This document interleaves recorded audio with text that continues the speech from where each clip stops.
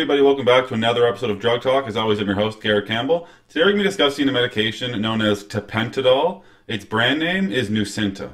Before I talk about the medication itself, just keep in mind that this channel is for information purposes only and not to be used as a source for recommendations for your personal health care.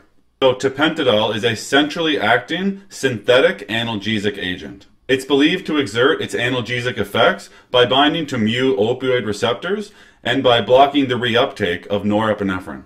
Now, in terms of indications for use, tapentadol can be used to treat diabetic peripheral neuropathy. This would be in patients that require daily, long term, and around the clock opioid analgesia. In a more general sense, it's indicated to treat acute severe pain. And finally, it's indicated to treat severe chronic pain in patients who again require that long term, daily, around the clock opioid analgesia. Before somebody was to use tapentadol or Nucynta, there are some contraindications they must clear, as well as some precautions and warnings they should be made aware of. This medication will be contraindicated in patients who have used a monoamine oxidase inhibitor in the previous 14 days. It would also be contraindicated in patients who have a gastrointestinal obstruction, patients with hypercarbia or bronchial asthma, either severe or acute, in unmonitored settings would not be able to use tapentadol. It's contraindicated in patients who have a hypersensitivity to tapentadol, whether it resulted in anaphylaxis or angioedema. And finally, it would be contraindicated in patients with significant respiratory depression who are in unmonitored settings without necessary resuscitative equipment if it was to be needed. Now, in terms of precautions, Nucynta is on the Beers criteria, which is a list of medications that the elderly population should either avoid or use cautiously. Because this medication can cause syncope and impaired motor function in this elderly population, it would put them at an increased risk of falls and therefore fractures. Abuse, misuse, and addiction are possible with this medication. The risk of this would be increased in patients who have a history of drug abuse. It should be noted that severe hypotension, including orthostatic hypotension and syncope, may develop in individuals using this medication. Medication should be avoided in patients who have circulatory shock.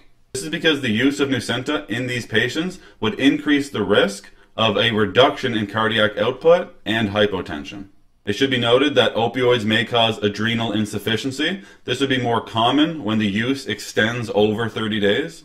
It should be avoided in patients who have severe hepatic impairment. And it's recommended to reduce the dose in patients who have moderate hepatic impairment. If a patient uses this medication who has biliary tract disease or pancreatitis, they may put themselves at an increased risk of experiencing a worsening of symptoms.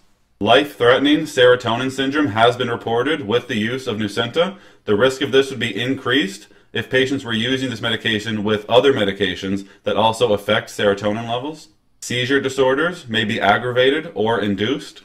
Should avoid the use of this medication in patients who have impaired consciousness or are in a coma. Use of this medication in patients who are at risk of developing or have an increased intracranial pressure. They exaggerate their response to respiratory depression or sedation. Long term use of opioids may be associated with a decrease in sex hormones. Should avoid using this medication in patients who have severe renal impairment. And finally, abrupt discontinuation of Nucynta should be avoided as withdrawal symptoms may occur. Once somebody is cleared of the contraindications and made aware of the precautions and warnings, and they start using tapentadol, they can expect to take it in tablet form. First thing I'd like to say about dosing with Nucynta is that because it is an opioid, we have to individualize the dose for each patient. So for this, we would consider their opioid tolerance, how well they actually tolerate the medication when they start it in terms of side effects, as well as the level of pain control that they get from the dose that they're using. So for this example, I'll just give a common dosing regimen that would be used in terms of initial dose and maintenance dose when treating severe pain. So for an initial dose, a patient can expect to get 50, 75, or even 100 milligrams every 4 to 6 hours. When starting the medication, patients may require a second dose one hour after the first dose, and this is okay during day one. Maximum dose on the initial day of therapy would be 700 milligrams per day. For maintenance therapy, it could be anywhere from 50, 75, or 100 milligrams every four to six hours again, but this time it would be individualized to the patient based on their pain. The maximum dose during maintenance therapy is 600 milligrams daily. Now, as with all medications, there are some side effects or adverse reactions that patients may experience while using tapentadol, so I'll go over some of those here now. Constipation seems to happen between 8 and 17% of the time. Anywhere from 21 to 30% of patients experience nausea. Vomiting can happen between 8 and 18% of the time. And dizziness comes in between 17 and 24%. Up to 15% of patients may experience a headache or somnolence. And some more serious side effects would be severe hypotension, adrenal insufficiency, anaphylaxis, raised intracranial pressure, angioedema, respiratory depression, and finally suicidal thoughts or ideation. That's all we're going to talk about today with Nucynta or Tapentadol. As always, I'm thankful that you took the time to come by and watch one of my videos.